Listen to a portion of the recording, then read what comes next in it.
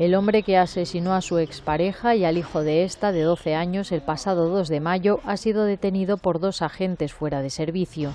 A unos 13 kilómetros de la calle de Alcobendas, donde tuvieron lugar los hechos, los policías reconocieron a Munit Ayat, buscado por estos asesinatos. Estaba sentado en un banco de un parque del distrito madrileño de Tetuán, como explica Alberto. Bueno, nos levantó sospechas porque ya teníamos conocimiento de los hechos y al haber trabajado en el distrito de Tetuán, eh, creíamos que lo recordábamos, que habíamos tenido alguna intervención con él y bueno, pues nos sonaba la cara de algo. Munit Ayat contaba con antecedentes por robo con violencia y homicidio en grado de tentativa, aunque no por maltrato. Después de comprobar que se trataba del presunto homicida, se acercaron a él y se identificaron con su placa. El hombre fue detenido sin que opusiera resistencia. Para Lorena, saber que el presunto autor de las dos muertes ya no está en la calle es el verdadero motivo de satisfacción.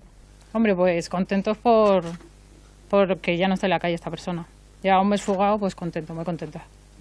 Alberto y Lorena llevan una década en el cuerpo y no es la primera vez que detienen a un presunto asesino, aunque nunca antes lo habían hecho estando fuera de servicio.